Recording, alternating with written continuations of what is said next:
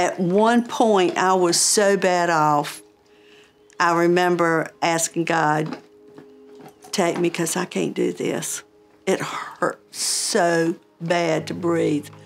So some ambulance got called and 911 got called. And fire department came and ambulance came and I think she said she didn't want to go to the hospital because she didn't want to get COVID. and uh, the EMT says, honey, you don't have to worry about that. You already got it. But that's the last time we saw each other for about five days. It was not pleasant. We can't be there constantly with them, which is something odd with your patients. Normally, you can go in the room without any second thought. Uh, but you have to program your day. You have to map out your day a little bit better so you're not, one, using a bunch of resources to get into the room, but two, just to be efficient throughout your day. The loneliness, the sheer loneliness of, you know, being a patient with COVID, you know, was one of the major um, disadvantages for the patients. And I quite re recall one of the patients I took care of very early in the pandemic told me that the loneliness was even more um, difficult for him to bear than the illness itself. We are not used to being separated and that we were very much concerned about the other because the last time we saw each other, we knew this was bad. And those nurses, they, they would just come in, well, I just saw your husband. he told me the story about so and so, and she would uh, just come relate it back to me because we're big storytellers. We've lived a lot together and we love to tell our stories. As hospitalists, we work very well with other team members, but with COVID patients, we had to go the extra mile and make sure we're linking up with our nurses and our patient care um, technicians. And it was Dr. Amu's love and concern and knowing we were joined at the hip that one of us didn't need to go home without the other. So she got home care set up. She got us out at the same time she came in and out and in and out of our rooms that last day to make sure everything was perfect. And it was like they were all going, they're going to see each other. you know, they're going to leave together.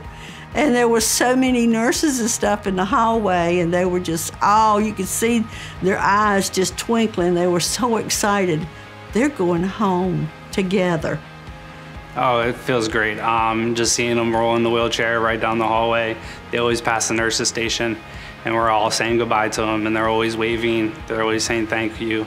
Um, and it's just a great feeling because you know that that's one less person that this pandemic has taken. Knowing that we were able to help them, not so much as fix them, but help them because they, they're in the fight. We, we are giving them all the resources they can to survive and then push forward um, as much as we can, but they are the ones fighting this virus.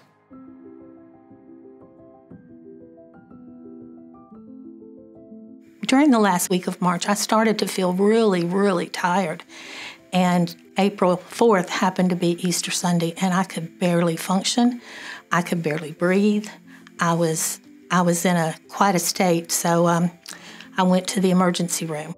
And when they took me in the ER, they put me on what's called a high flow machine, and I actually was they were forcing oxygen in me um, because my saturation was so low.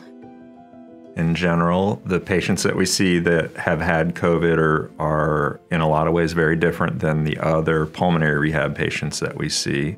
They're difficulties carrying on their everyday life is new, whereas the typical patient has been dealing with these things over a long period of time. The people here are so, they're so friendly.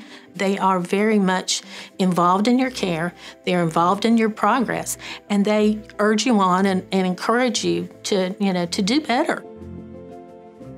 Debbie comes in with a lot of goals. She has a lot of grandchildren. She's an active person and likes to, to be active, and she does push herself. trying to accomplish some of those goals. Some are as simple as picking up her two year old granddaughter. She's also trying to wean off of oxygen. She wasn't on supplemental oxygen before having COVID, and now she is um, having to, to wear uh, oxygen continuously when she exerts herself. You can tell when somebody's going through the motions, and you, then you can tell when people really care whether or not you know you're getting better. We, we interact as, as a group as far as the other patients. And I mean, it's really been a very positive experience to, um, to be able to, to have this, you know, and, and know that I'm getting better too. She's going to continue to get stronger. We were able to actually decrease the flow rate of oxygen that she was on today, and she did okay. So hopefully we can continue doing that, and hopefully she can, you know, meet the goal of getting off oxygen. I think she'll get strong enough to pick up her 30 pound granddaughter.